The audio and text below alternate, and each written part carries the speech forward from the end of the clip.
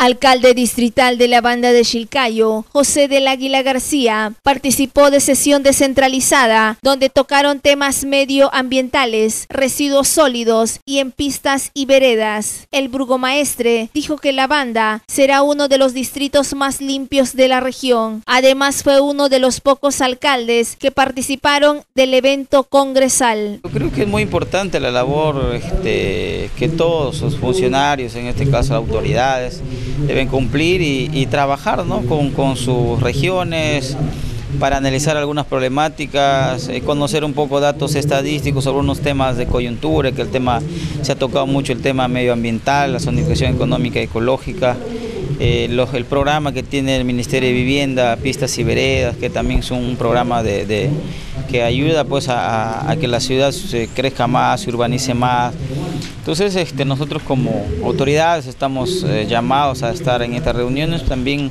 a conocer este, más a detalle algunas cosas técnicas, porque es muy importante que las autoridades no solamente participen en el protocolo, sino también son los que van a tomar decisiones.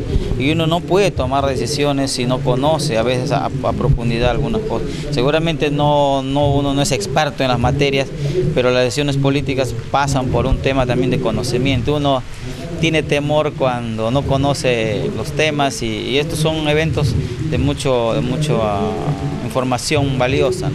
Por eso es importante participar. Había una crítica de uno de los expositores en el sentido de que más de la mitad del auditorio ya se había retirado y son diciendo este además funcionarios del sector público me parece.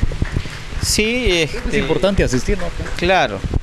Si hay que asistir, hay que buscar estar hasta el último, ¿no? Este si no vamos a un evento, ya no, no, solamente al protocolo, para la foto, o tenemos otra agenda, pero eh, cuando son eventos uno también le valora la importancia de una actividad, ¿no? Entonces solamente cada uno responde por sus actos y nosotros como alcaldes estamos acá nuestro distrito porque queremos trabajar el tema ambiental muy importante, residuos sólidos, tenemos un proyecto de inversión pública este, que vamos a desarrollar durante los cuatro años para poder este, educar a la población en tema de manejo de residuos sólidos domiciliarios y así convertir a la banda de Chilcayo. Aspiramos convertir a la banda de Chilcayo en un distrito más limpio de la región San Martín y eso implica hacer muchas cosas, ¿no? No solamente una campaña de limpieza de los ríos o, un recojo, una limpieza masiva de residuos este, sólidos, no, sino implica hacer muchas cosas, ¿no? Como eso eh, para lograr esto. Y, pasa por un tema de cambio de actitud de todos los ciudadanos, porque si los ciudadanos... Claro, si la ciudadanía, un pueblo que queremos que esté limpio no es porque hay más trabajadores que van a estar limpiando la ciudad, porque los recursos no darían para, poder alcanzar a, garantizar ello. Lo que implica es que la población cuando cuando come un caramelo o un chicle no vote en la calle, porque los recursos que se invierte, que es el recurso humano para limpiar la ciudad, es recurso de todos nosotros. Es lo que venimos difundiendo a la población. La plata no es del alcalde, la plata es de todos los ciudadanos que lo está administrando el gobierno local, pero que tenemos que tener un enfoque si nosotros ensuciamos la ciudad, gastamos más para poder limpiarlo. Y esa plata deberían invertir en obras, invertir en pistas, en veredas, en agua, en desagüe, en colegios. Y tenemos que tener una conciencia y eso implica pues todo un trabajo de educación a la población, de sensibilización, porque la población cambia de actitud, por eso es que, pues que tenemos ciudades este, en, Latinoamérica, acá en, el país, que han, que han desarrollado este, valores y hemos, hemos, hemos tratado todos de cambiar de actitud y eso hace que nuestra ciudad sea más acogedora. Señor alcalde, por, último, eh, usted estaba en Lima, me parece, algunas gestiones que estaba realizando.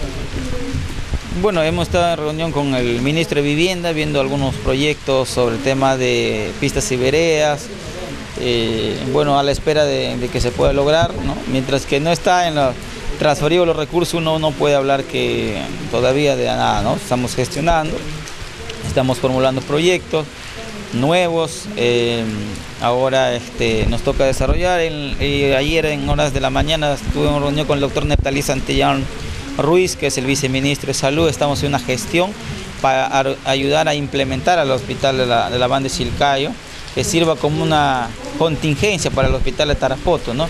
Porque decían en, la última reunión que tuvimos con los técnicos de, acá del hospital de Tarapoto, eh, hay algunas este, atenciones que no deberían ser desarrolladas ahí, hay camas eh, centros quirúrgicos que no deberían de hacerse allí, deberían de ser de mayor complejidad Tarapoto y en las zonas periféricas la atención es un poco más, más, simple, digamos, ¿no? que enfermedades que sí se pueden tratar.